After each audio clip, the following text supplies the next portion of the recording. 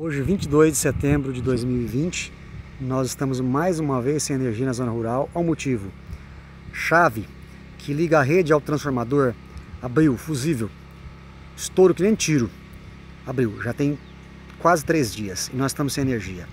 Nós, produtores rurais, estamos perdidos no interior do Tocantins. Aqui é o município de Paranã, Tocantins.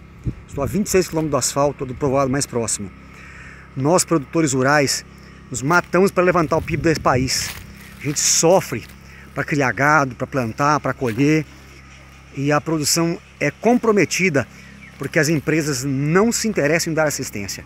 Agora, nesse momento mesmo, nós estamos perdendo o estoque de carne que nós temos no freezer, de leite, porque nós estamos a 48 horas sem energia. Vou mostrar para vocês aqui. Entrar, rancho simples, mas é a nossa vida. Aqui a gente não tem tempo para luxo, não. A gente trabalha para levantar o PIB desse país. E olha a situação. O freezer cheio, porque a gente tem que fazer estoque, porque a vida não é fácil, se não fizer estoque, a gente passa necessidade. Agora vou mostrar para vocês o gerador trabalhando.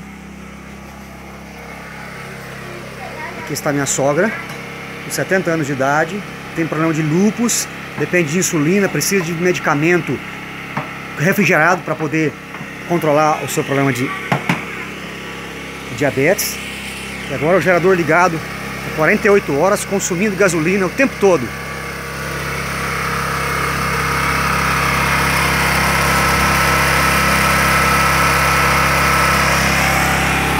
O que mais me deixa decepcionado é saber que não existe políticas públicas que fiscalizem essas empresas. Elas fazem o que querem. E aí nós ficamos perdidos, tomando prejuízo. Enquanto, enquanto nós, produtores rurais, estamos sofrendo para levantar o PIB desse país, para gerar renda e recurso, levar alimento na casa de vocês, as empresas de energia elétrica não estão nem aí. Onde já se viu, gente? Ficar quatro dias sem energia, tudo que a gente produziu está sendo perdido, está sendo jogado fora. E quem paga essa conta? Somos nós. Será que ninguém vai tomar providência? Ninguém vai fazer nada a respeito? Até quando isso vai continuar? Essa energia vai até quando ela vai continuar fazendo o que quer? A taxa todo mês cai na conta. Todo mês a gente tem que pagar, se não pagar, corta. Agora o nosso prejuízo, quem que paga? É triste, viu? Eu fico mais triste a gente saber que as agências reguladoras como a ANEL não fazem nada, porque esses problemas são recorrentes. Nós tivemos problema em fevereiro, de mais precisamente dia, dia 2 de abril, tivemos 90 e tantas horas sem energia, está registrado aí para vocês. Nós tivemos problema de novo, 19 de maio, nós tivemos problema de novo em junho, dia 20 de agosto de novo, e hoje, 20 de setembro, até hoje, dia 22.